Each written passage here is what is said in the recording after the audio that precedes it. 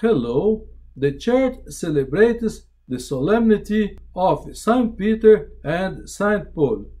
The two saints suffered martyrdom in Rome, one in 64 and other in 67.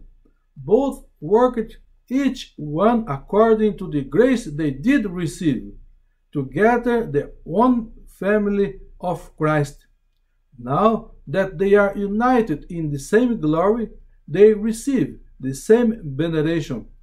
Peter and Paul have transmitted to us the gospel of Christ.